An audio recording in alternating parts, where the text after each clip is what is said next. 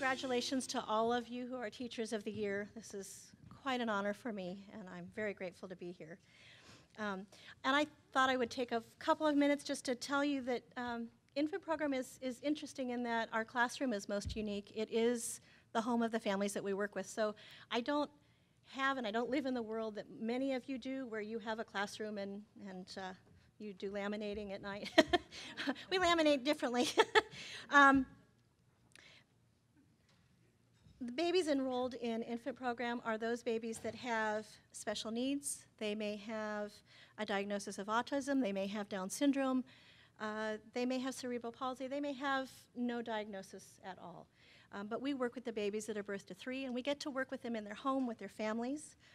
And it, the families end up being a, a, mix of parents, could be grandparents, could be aunts, uncles, foster parents.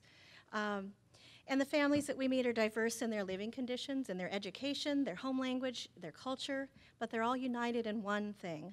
They want the very best for their children.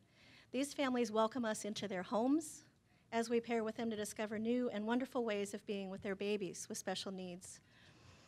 The families I work with uh, deal with many feelings that come with a new diagnosis. Could be fear, sadness, worry, and the drive to learn and do whatever it takes to help their child be the best that they can be.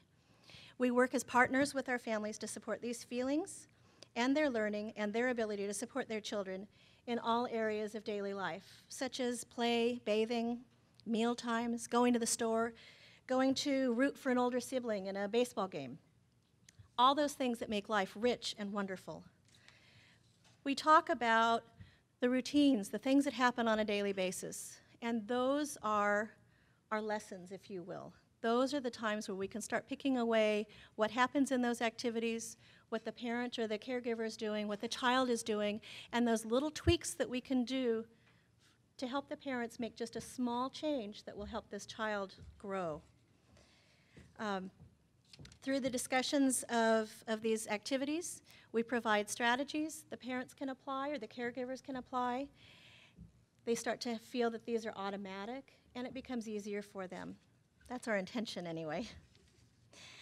I work with an amazing team of professionals, early childhood special educators, occupational therapists, a couple of whom are here, uh, physical therapists, infant educators, teachers for kids that are deaf or hard of hearing, and teachers for kiddos that have vision issues, nurses, we have wonderful intake staff, wonderful office staff, social worker, a wonderful director.